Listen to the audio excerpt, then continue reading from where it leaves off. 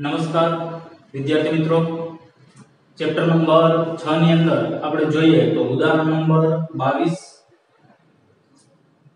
Textbook સ્વાધ્યાયના જે દાખલાઓ ગણ્યા, એનાથી થોડું અલગ પ્રકાર. P, Q અને R સરખે છે નફો નુકસાન વહેંચતા ભાગીદારો છે. તારીખ 31 3 16 ના રોજ ના પેઢીનું પાકું સરવૈયું નીચે મુજબ છે. હવાલાની અંદર જોઈએ તો આર તારીખ 31 3 16 ના રોજ નિવૃત્ત થાય છે. નિવૃત્તિ વખતે નીચે મુજબ નક્કી કરવામાં આવ્યું. ત્રણ ભાગીદારો છે, પી, ક્યુ અને આર ત્રણેય ભાગીદારો સરખે છે નાનું ભાગીદારો છે. એમાંથી એક ભાગીદાર છે, એ નિવૃત્ત થાય છે. આર પેઢીની પાઘડી છેલ્લા પાંચ વર્ષના સરેરાશ નફાની ત્રણ ગણી પાઘડીનું મૂલ્યાંકન આપણને કરવાનું હતું પાઘડીની કિંમત નક્કી કરેલી છે નહીં, આપણે નક્કી કરવાની છે. કેવી રીતે ગણવાની? તો કે છેલ્લા પાંચ વર્ષના સરેરાશ નફાની ત્રણ ગણી ગણવાની છે. તે ઓલ આપણે બારોબાર માર્ક કરીશું. જમીન મકાનની કિંમત 15000 ગણી, તો જમીન મકાનની સામે બે નંબર. જમીન મકાન આપણને આપેલા છે 10000 રૂપિયા. જેની કિંમત 15000 નક્કી છે એક્સ લિમિટેડ ના શેરની બજાર કિંમત 1200 છે. એક્સ લિમિટેડ ના શેર આપણને આપેલા છે 1500 રૂપિયા જેની કિંમત 1200 રૂપિયા નક્કી કરવામાં આવી છે. તેની સામે ત્રણ નંબર લખીશું. બધા જ દેવાદારો સદ્ધર છે એટલે કે દેવાદારો પર કારખાના નામની હવે જરૂર નથી. તો દેવાદારોની સામે લખશું ચાર નંબર. હવાલા નંબર 5 જોઈએ. 2000 ચૂકવવાના બાકી પગારની જોગવાઈ કરવાની છે એટલે ચૂકવવાનો બાકી પગાર 2000 રૂપિયા છે. તો એ આપણે બારોબાર ટીક માર્ક કરીશું, પાંચમો વાળો છઠ્ઠો વાળો પેઢીનો અગાઉના 4 વર્ષનો નફો નીચે મુજબ 4 વર્ષનો નફો આપણને આપેલો છે. જેના આધારે આપણે પાઘડીનું મૂલ્યાંકન કરવાનું છે. તો તમને હવાલા નંબર 1 માં શું કીધું? તો કે પેઢીની પાઘડી છેલ્લા 5 વર્ષના સરેરાશ નફા જેટલી ગણી. આપેલો છે છેલ્લા 4 વર્ષનો નફો. તો એ નફાની અંદર જુઓ તો 11 12 13 13 14 14 15 16 નો નફો નથી. આપણું વર્ષ પૂરું થાય છે 31 3 16 તો 15 16 નો નફો હોવો જોઈએ, પણ એ નથી. તો એ નફો આપણને ક્યાંથી મળશે? તો કે પાકા સરવૈયાની અંદર તમે જોવો તો મૂડી દેવા બાજુ નફા નુકસાન ખાતું કરો મિલકત લેણા બાજુ નફા નુકસાન ખાતું આપેલું છે. ઉધાર બાકી. કેટલી આવી તો કે 3000 તો એ ખોટ છે. છેલ્લા વર્ષની પાંચમા વર્ષે શું દર્શાવે છે? ખોટ દર્શાવે છે? તે ખોટ દર્શાવે છે એના આધારે પાઘડીનું મૂલ્યાંકન થાય. તો આપણે પાઘડીની ગણતરી કરીએ. તો સૌપ્રથમ પેલા સરેરાશ નફો શોધવો પડે. સરેરાશ નફો બરાબર શું થાય તો કે કુલ નફો છેદમાં કુલ વર્ષ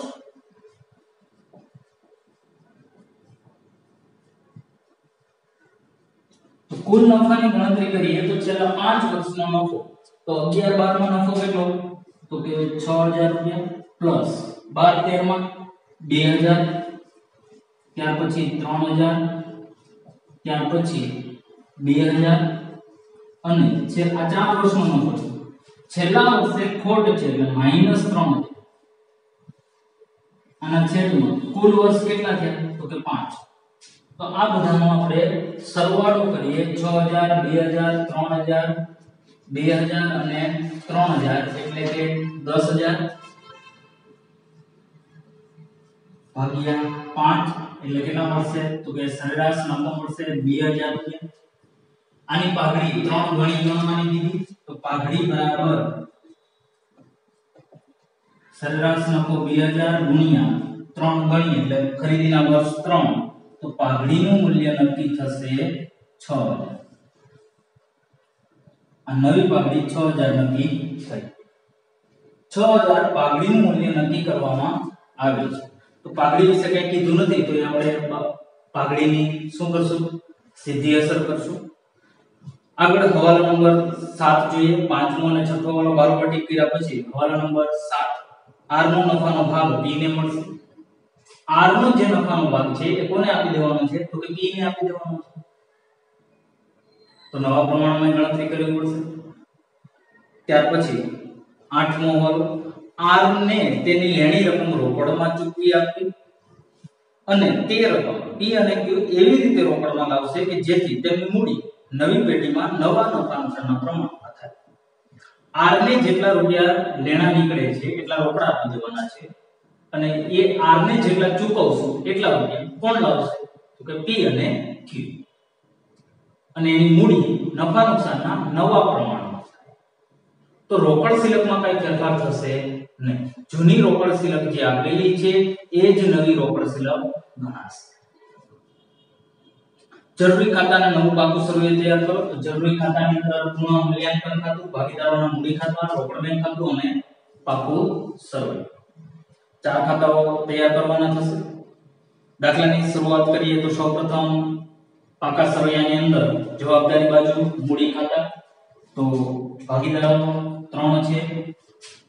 પી, ક્યુ અને આર.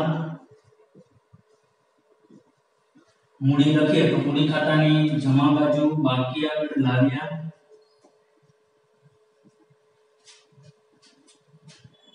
ત્રણેયની મૂડી તો કે નવ હજાર, છ હજાર અને ત્રણ છ હજાર. ત્યાર પછી સામાન્ય અનામત સામાન્ય અનામત ભાગીદારો વચ્ચે વહેંચાય તો મૂડી ખાતાની જમા બાજુ સામાન્ય અનામત ખાતે સામાન્ય અનામત કેટલી આપેલી છે? તો કે બારસો રૂપિયા. જૂના પ્રમાણમાં ભાગ પાડીએ તો સરખે હિસ્સે એટલે કે ચારસો ચારસો આવશે. ત્યાર પછી રોકાણ વધઘટ ભંડોળ. તો રોકાણો ની અંદર હવાલો આપણને આપેલો છે. રોકાણો એટલે એક્સ લિમિટેડ ના શેર એક્સ ना शेयर શેર रखा है તો કે મિલકત લેણા બાજુ એક્સ लिमिटेड ना શેર કેટલા રૂપિયાના આપેલા છે? તો કે 1500 રૂપિયાના આપેલા છે. જેની બજાર કિંમત 1200 રૂપિયા છે. તો 1200 રૂપિયા કિંમત નક્કી કરવી હોય તો અહીંથી માઇનસ ઘટાડો કેટલો? તો કે 300 આ 300 રૂપિયાનો ઘટાડો થાય એટલે કિંમત નક્કી થશે 1200 રૂપિયા તો રોકાણ વધઘટ ભંડોળ આપણી પાસે કેટલું છે? તો કે રોકાણ વધઘટ ભંડોળ. કેટલું છે? તો કે 360 રૂપિયા છે. એમાંથી 300 રૂપિયા નુકસાન થયું. વૈધા કેટલા? તો કે 60 આ 60 રૂપિયા છે એ ભાગીદારો વચ્ચે વહેંચાય. તો મૂડી ખાતાની જમા બાજુ રોકાણ વધઘટ ભંડોળ ખાતે કેટલા? તો કે 60 રૂપિયાના ભાગ પાડીએ એટલે ત્રણેયના ભાગે આવશે 20 20 રૂપિયા. ત્યાર પછી લેણદારો, તો લેણદારોની અંદર કઈ હોરો નથી, એટલે ડી દેવા બાજુ લેણદારો. કેટલા આપેલા છે? તો કે 4600 ત્યાર પછી આપણે આગળ જોઈએ તો મિલકત લેણા બાજુ, તો મિલકત લેણા બાજુ સૌપ્રથમ આપણને આપેલ છે ટ્રેડમાર્ક, જેમની અંદર કોઈ હવાલો છે નહીં, એટલે સીધા જ બરોબર. ટ્રેડમાર્ક કેટલા આપ્યા તો કે 5400 ત્યાર પછી જમીન મકાન, જમીન મકાનની અંદર હવાલો છે એટલે મિલકત લેણા બાજુ, જમીન મકાન. કેટલા તો કે 10000 આપેલા છે. હવાલો આપ્યો જમીન મકાનની કિંમત 15000 ગણી.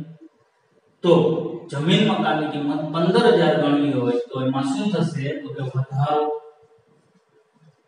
પ્લસ વધારો કેટલો? તો કે 5000 નો એટલે બરોબર આવશે 15000 જમીન મકાનની કિંમતમાં વધારો થાય તો આપણને શું થાય? તો કે લાભ લાભ થાય તો પુનઃ મૂલ્યાંકનની જમા બાજુ. જમીન મકાન ખાતે કેટલો લાભ થશે? તો કે 5000 રૂપિયા. ત્યાર પછી આગળ હવાલો જોઈએ તો એક્સિમ લિમિટેડ શેર તો એ લખાઈ ગયા છે. સ્ટોક સ્ટોકની અંદર કઈ હવાલો છે નહીં એટલે બરોબર. સ્ટોકની અંદર તેના બાજુ 3000 ત્યાર પછી દેવાદારો, એમની અંદર હવાલો કીધો. બધા જ દેવાદારો સદ્ધર છે. એટલે એનો મતલબ એવો કે દેવાદારો પર ખાલખાદ નામકની જરૂર નથી. તો દેવાદારો ત્રણ હજાર રૂપિયાના છે આપણે બરાબર લખી નાખીએ. દેવાદારો બરાબર ત્રણ હજાર. અને જે ખાલખાદ નામત ગણાયેલી છે, એની જરૂર નથી, એટલે એટલો આપણને ફાયદો થશે, લાભ થશે. લાભ થાય તો પુનઃ મૂલ્યાંકનની જમા બાજુ ખાલખાદ અનામત ખાતે. કેટલા રૂપિયા ગણેલી હતી? તો કે 240 રૂપિયા આટલો આપણને લાભ થશે ત્યાર પછી આપણે જોઈએ તો રોકડ બેંક તો એના માટે આપણે રોકડ બેંક ખાતું બનાવેલું છે રોકડ બેંક ખાતાની ઉધાર બાજુ બાકી આગળ લાવ્યા પંદરસો રૂપિયા ત્યાર પછી નફા નુકસાન ખાતું તો નફા નુકસાન ખાતાની ઉધાર બાકી છે એટલે નફા નુકસાન ખાતું ભાગીદારો વચ્ચે વહેંચાય તો મૂડી ખાતાની ઉધાર બાજુ નાનો ખાતે કેટલા રૂપિયા આપેલા છે તો કે 3000 3000 ના સરખે હિસ્સે ભાગ પાડીએ એટલે 1 1 ચાલો પાકું સમજ્યું પૂરું બાહ્ય વાલાઓની અંદર જોઈએ તો બાહ્ય વાલાની અંદર પહેલો પેઢીની પાઘડી છેલ્લા પાંચ વર્ષના સરેરાશ નફા જેટલી નફાની ત્રણ ગણી ગણી તો આપણે પાઘડી ગણી સરેરાશ નફો ગણ્યો, પાંચ વર્ષનો. ચાર વર્ષનો નફો આપણને છઠ્ઠા વાલાની અંદર આપેલો હતો. પાંચમા વર્ષનો નફો આપણે પાકા સરવૈયામાંથી લીધો, જે નુકસાન છે ત્રણ હજાર રૂપિયા. એના અંદર પાઘડીનું મૂલ્ય નક્કી થયું છ. હવે આ પાઘડીની સીધી અસર કરવી પડે. તો પાઘડીની સીધી અસર કરીએ તો સૌપ્રથમ ભાગીદાર કોણ કોણ? તો કે P Q અને R પાઘડી ની સીધી અસર કરવા માટે જૂના પ્રમાણમાંથી નવું પ્રમાણ બાદ માઇનસ આવે, ઉધાર પ્લસ આવે તો જમ અને ભાગીદારોને પેલા જૂના પ્રમાણમાં પાઘડી વહેંચીએ તો જૂનું પ્રમાણ શું? તો કે 1 જેમ 1 જેમ 1 પાઘડી કેટલી 6 6000 ને જૂના પ્રમાણમાં ભાગ પાડીએ, તો ત્રણેયના કેટલા આવશે? તો કે 2 2000 હવે પાઘડી વહેંચાશે નવા પ્રમાણ નવું પ્રમાણ શું તો કે નવું પ્રમાણ આપણી પાસે નથી એના માટે આપણને હવાલા નંબર 7 કીધો R નો નફાનો ભાગ P ને મળશે R નો જે નફાનો ભાગ છે એ કોને આપવાનો છે P ને તો હવે જો જૂનું પ્રમાણ શું હતું? તો કે 1 જેમ 1 જેમ 1 P ના 1 R ના 1 અને Q ના 1 P Q અને R ત્રણેયના 1 R નિવૃત્તિઓ R નો ભાગ P ને મળવા પાત્ર છે. તો R નો ભાગ હતો કેટલો? તો કે 1 ના છેદમાં 3 જે કોને મળશે? તો કે P તો P નો ભાગ શું થાય? તો કે P નો ભાગ 1 ના છેદમાં 3 હતો પ્લસ R નો ભાગ 1 ના છેદમાં 3 એટલે કે 2 ના છેદમાં 3 અને Q નો તો 1 ના છેદમાં 3 ઓલરેડી હતો જ. તો નવું પ્રમાણ શું થાય તો કે P જેમ Q બરાબર 2 જેમ 1 આ નવું પ્રમાણ તો નવું પ્રમાણ અહીંયા આવશે 2 જેમ 1 તો નવા પ્રમાણમાં પાઘડી વહેંચીએ તો 4000 અને 2000 જૂના પ્રમાણમાંથી નવું પ્રમાણ બાદ કરીએ તો 2000 માંથી 4000 જાય તો માઇનસ 2000 2000 માંથી 2000 જાય 0 અને 2000 માંથી 0 જાય તો 2000 માઇનસ આવેલા ઉધાર પ્લસ આવેલા જમ તો માઇનસ કોણ આવ્યા તો કે p ના એના ઉધાર થશે અને r ના કેવા થશે જમ તો આમનો તો શું થાય તો કે p ના મૂડી ખાતે ઉધાર રૂપિયા 2000 તે R ના મૂડી ખાતે જમા રૂપિયા 2000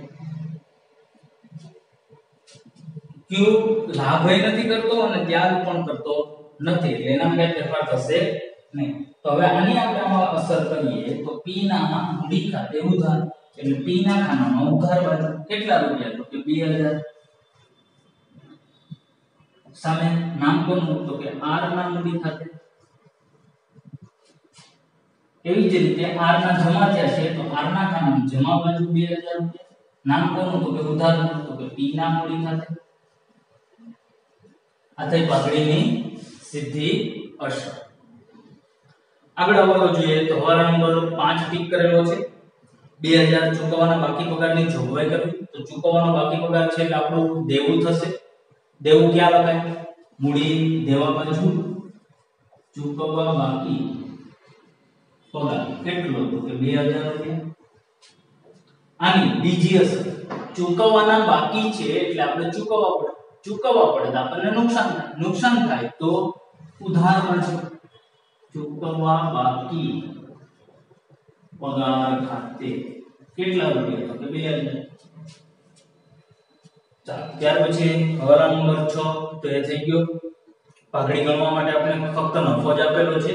જેની કોઈ અસર હોય હવાલા નંબર 7 તો નવા પ્રમાણ માટે આપેલ છે, જેની કોઈ અસર છે હવાલા નંબર 8 R ને તેની લેણી રકમ રોકડમાં ચૂકવી દેવી, જે P અને Q એ રીતે રોકડમાં આવશે કે જેથી મૂડી નવા પ્રમાણમાં થાય. તો અહીંયા આપણે જોઈએ તો R ને રૂપિયા રોકડા ચૂકવવાના છે એટલે સૌપ્રથમ પુનઃ મૂલ્યાંકન ખાતું બંધ કરીશું. પુનઃ મૂલ્યાંકન ખાતું બંધ કરીએ તો જમા બાજુ સરવાળો આવશે 5240 ઉધાર બાજુ 5240 એમાંથી 2000 ગયા એટલે 3240 આને શું કહેવાય? તો કે નફો. ક્યાં લઈ ગયા? તો કે ભાગીદારોના મૂડી ખાતે. ભાગીદારો કોણ કોણ?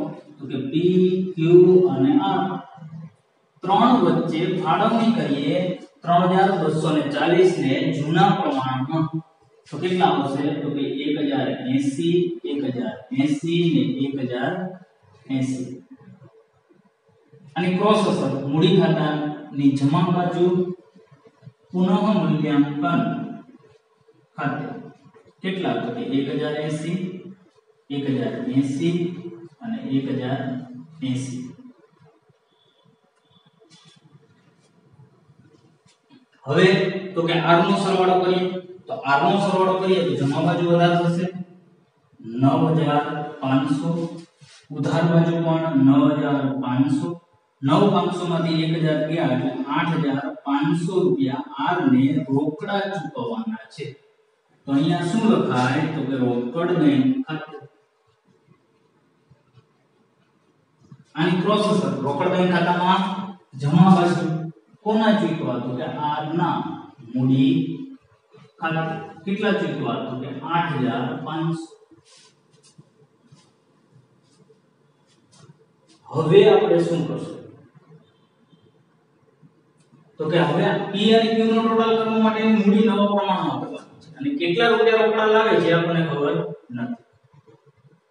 તો આના માટે આપણને એક હવાલો આપેલો છે. R ને લેણી રકમ ચૂકવવાની છે. એટલા રૂપિયા P અને Q રોકડા તો જો R ને 8500 ચૂકવીએ, તો P અને Q રોકડા કેટલા લાગે? તો 8500 તો એ 8500 લાવશે તો રોકડ સિલક 1500 રૂપિયા હતી, એમાં કાઈ ફેરફાર થશે નહીં. એટલે બાકી આગળ લઈ ગયા અહીંયા. કેટલા આવે તો કે 1500 આવો આપણે સ્વાધ્યાયનો 13મો દાખલો ગણ્યો. આ એ જ હવાલો છે. હવે એ 1500 રૂપિયા ક્યાં લખાય? તો કે મિલકત લેના પહોંચવાની અહીંયા. રોકડ બેંક 1500 કારણ કે આમાં કાંઈ ફેરફાર થશે નહીં આ 1500 ના 1500 રહેશે તો હવે મિલકત લેણા બાજુ કઈ લખવાનું બાકી છે નહીં તો હવે મિલકત લેણા બાજુ આપણે સરવાળો કરી શકીએ મિલકત લેણા બાજુ સરવાળો કરીએ એટલે 29100 ટોટલ આવે તો અહીંયા પણ કેટલું આવે તો 29100 29100 માંથી લેણદાર ચૂકવવાનું બાકી તો બાદ કરી એટલે ઘટે શું? તો અને એ કોના? તો ના. R લોન પણ આવશે નહીં, કારણ કે R રોકડા ચૂકવી દીધા. તો મૂડી કેટલી ઘટે? તો કે 29100 માંથી બાદ કરીએ એટલે 22500 બાવીસ હજાર પાંચસો મૂડી કયા પ્રમાણમાં રાખવાની છે? નવા પ્રમાણમાં. નવું પ્રમાણ કેટલું? તો કે બે જેમ એક. તો આના બે જેમ એક ના પ્રમાણમાં ભાગ પાડીએ એટલે 15000 અને સાત હજાર પાંચસો. નવી મૂડી મળી ગઈ. રોકડ સિલક આપણને આપેલી છે, એટલે પાકું સર્વે પેલા બંધ કર્યું. હવે મૂડી નવા પ્રમાણમાં છે. આગળ આપણે દાખલો જોયો તો જેમાં સરખે હિસ્સે રોકડા લાવતા તો એમાં આપણે રોકડ બેંક ખાતું બંધ કર્યું. અહીંયા નવા પ્રમાણમાં મૂડી છે એટલે પેલા પાકું બંધ કર્યું. હવે, આ મૂડી ક્યાં લખાય? તો કે બાકી આગળ લઈ ગયા. તો મૂડી ખાતામાં ઉધાર બાજુ બાકી આગળ લઈ ગયા. કેટલા? તો કે 15000 અને 7500 હવે આપણે મૂડી ખાતાની અંદર સરવાળો કરીએ. તો મૂડી ખાતામાં સરવાળો કરીએ તો P નો ઉધાર બાજુ સરવાળો વધારે થશે 15 16 17 ને 18 તો જમા બાજુ પણ 18 18000 માંથી આ જમા બાજુની રકમો બાદ કરીએ તો જમા બાજુ કેટલા ઘટે? તો કે 7500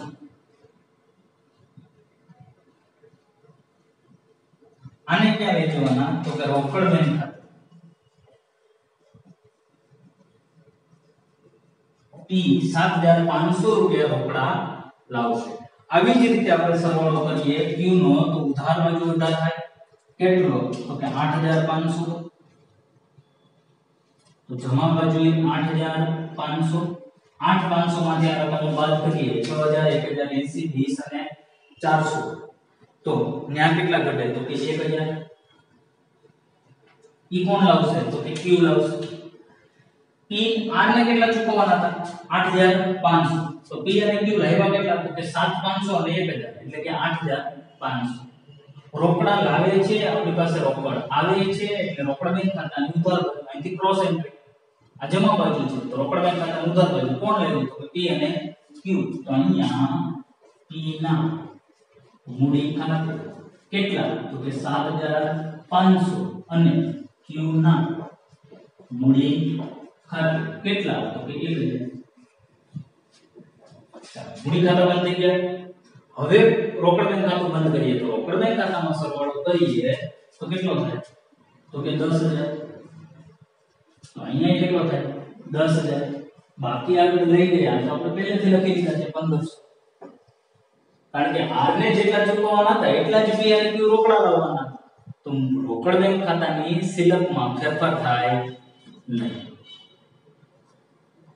અહીંયા સુધી આપણે જોઈએ તો આ ચેપ્ટરના મોટા આઠ ગુણમાં જે દાખલાઓ પૂછાય, એ આવી ગયા. હવે જે દાખલાઓ છે, એ ભાગ્યે જ ક્યારેક પૂછાઈ શકે એવા છે. તો આટલા દાખલાઓનો વ્યવસ્થિત અભ્યાસ કરવો. Thank you